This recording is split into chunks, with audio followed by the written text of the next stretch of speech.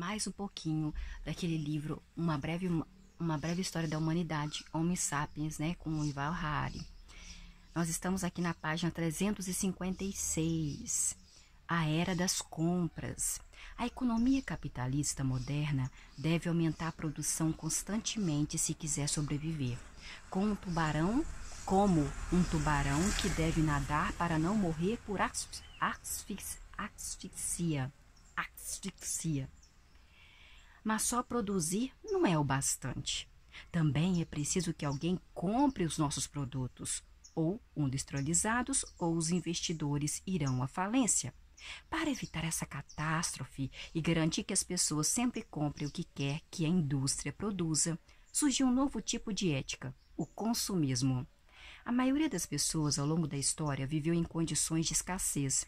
A, a frugalidade, frugalidade era, portanto, sua palavra de ordem. A ética austera dos puritanos e dos espartanos são apenas dois exemplos famosos. Uma pessoa boa evitava luxos, nunca desperdiçava comida e remendava calças rasgadas em vez de comprar outras calças novas. Somente reis e nobres se permitiam renunciar publicamente a tais valores e ostentar suas riquezas. O consumismo vê o consumo de cada vez mais produtos e serviços como algo positivo. Encoraja as pessoas a cuidarem de si mesmas, a se mimarem e até a se matarem pouco a pouco por meio do consumo exagerado. A frugalidade é uma doença a ser curada. Não é preciso olhar muito longe para ver a ética do consumo em ação. Basta ler a parte de trás de uma caixa de cereal. Esta é uma citação de uma caixa de um dos meus cereais matinais favoritos, produzidos por uma empresa israelense, a Telma. Às vezes, você precisa de cuidados. Às vezes, você precisa de um pouco mais de energia.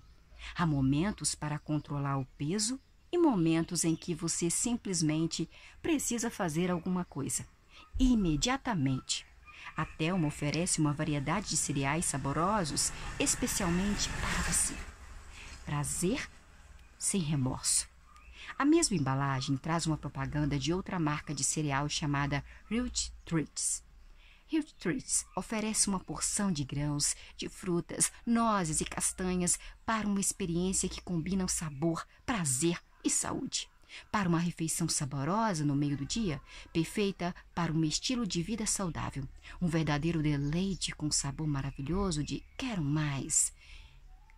Durante a maior parte da história, as pessoas teriam sido repelidas e não atraídas por este texto. Eles o teriam considerado egoísta, indecente e moralmente corrupto. O consumismo trabalha, trabalhou duro com a ajuda da psicologia popular Just It just just it, para convencer as pessoas de que a indulgência é algo bom, ao passo que a frugalidade significa autopressão. O consumismo prosperou. Somos todos bons consumistas. Compramos uma série de produtos de que não precisamos realmente e que até ontem não sabíamos nem que existiam. Os fabricantes criam deliberadamente produtos de vida curta, inventam modelos novos e desnecessários de produtos perfeitamente satisfatórios que devemos comprar para não ficar de fora.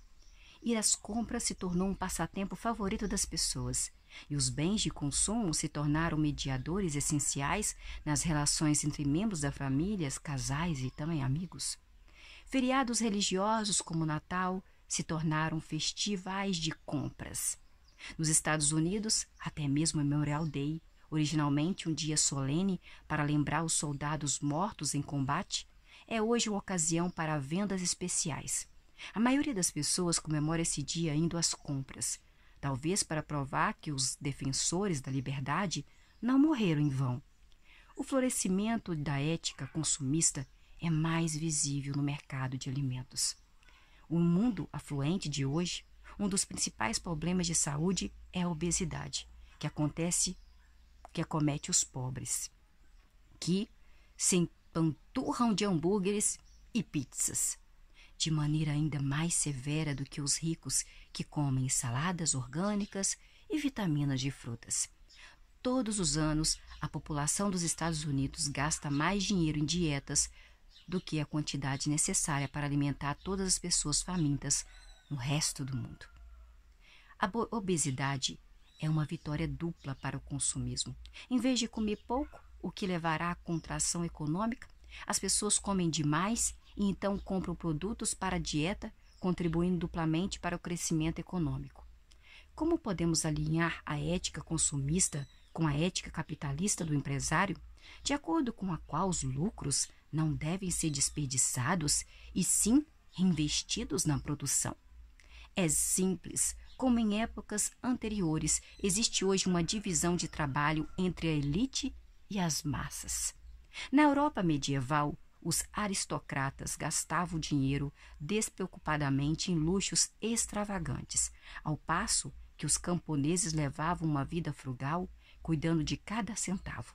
Hoje a situação se inverteu. Os ricos gerenciam seus ativos e investimentos com muito cuidado, enquanto os menos abastados se endividam comprando carros, comprando televisores de que, na verdade, nem precisam. A ética capitalista e a ética comunista são dois lados da mesma moeda, uma combinação de dois mandamentos. O mandamento supremo dos ricos é invista. O mandamento supremo do resto de nós é compre. A ética capitalista consumista é revolucionária em outro aspecto. A maioria dos sistemas éticos anteriores apresentava às pessoas um acordo muito difícil.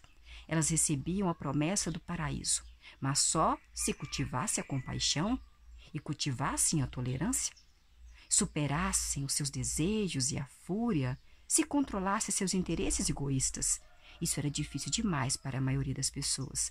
A história da ética é um conto triste de ideias maravilhosas que ninguém consegue colocar em prática. A maioria dos cristãos não imitou Cristo. Não. A maioria dos cristãos não imitou Jesus Cristo.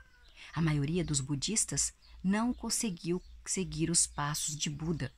E a maioria dos confucianos teria causado um ataque de, nervos a Confúcio.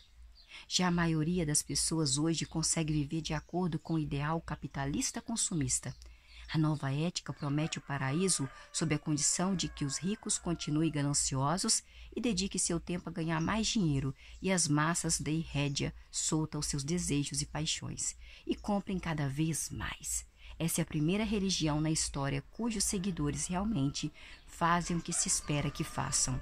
Mas, como temos certeza de que em troca teremos o paraíso? Nós vimos na televisão, não é verdade? E aí, nós paramos na página 359. E até a próxima.